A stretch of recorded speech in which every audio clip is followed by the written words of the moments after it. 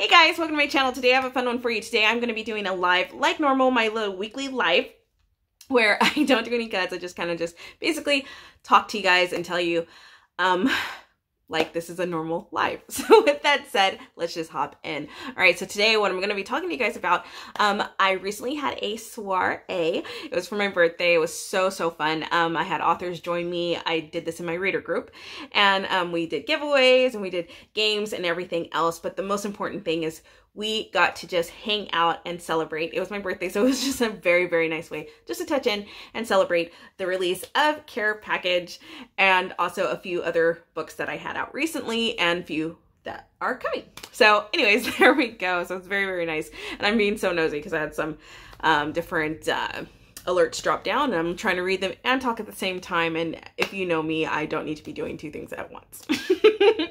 All right, so anyways, um, the weekend is here. It is upon us, and so I'm very, very excited. Um, I have been in a writer retreat all week. It has been a beautiful, fun, fun experience, and I loved every bit of it. Um, what can I say? I don't know. Just the energy, the creative space, all of it is just wonderful. Anyways, it has also said um, how to have a little more balance in life and such. So I'm loving all of that. Um, a new book that I have that is going to be coming out is My Hero. So um, be on the lookout for that one. I am also writing a blog about all the tragic events that are going on right now, um, just to kind of make sense of it, and also different ways that you can help out and also kind of bounce back and have resiliency and stuff like that to this situation.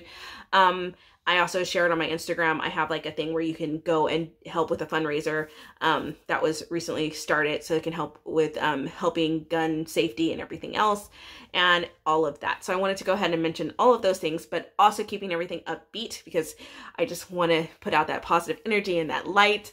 Um, I am going to just uh, be having a few wonderful things coming up for you guys, and I will be sharing them all very, very soon. So with that said, have a beautiful weekend, and I love all of you, and I'll see you guys soon. Okay, bye.